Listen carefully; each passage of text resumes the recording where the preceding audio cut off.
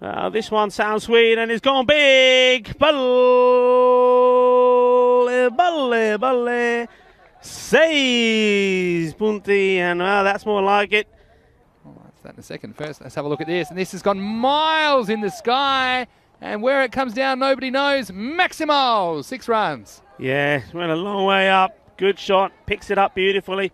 And well, fortunately, let's see where this one goes.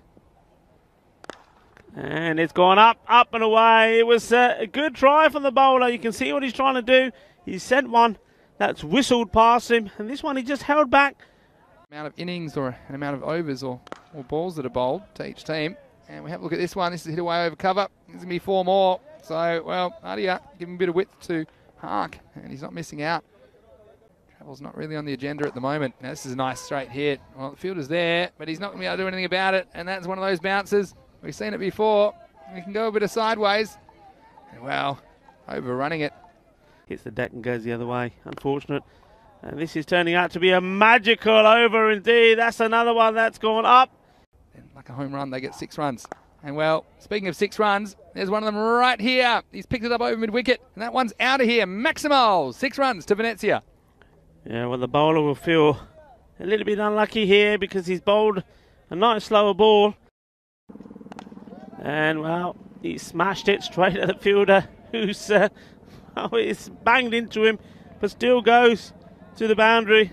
And he's probably thinking to himself, well, what was the point of that? And to see Venezia falling over from here. Well, this one, that's the last we saw of it. It was leaving the bat of Haque, and that's going to be six more. Maximo. Well, tremendous hit. You can't take anything away from both these batsmen. I mean, okay, the bowling. Exciting to be watching the cricket here in Italy, coming from Milan and Brescia. And then straight after that, continuing in Portugal. And speaking of continuing, well, Nazmul Haque continues in the great form that he's in. Smashes this one over. It's another six, and well, it's the only way he knows how to do it. What's happened so far? This one has been smashed away. Find this one. And that's a, a good start. hitting them so cleanly. I mean, I just think we, we haven't seen hitting of this consistently destructive nature so far